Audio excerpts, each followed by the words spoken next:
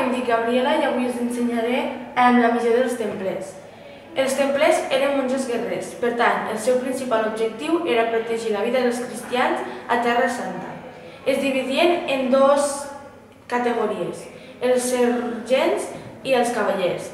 Els cavallers eren fills de la noblesa i la seva missió era eh, combatir i manar.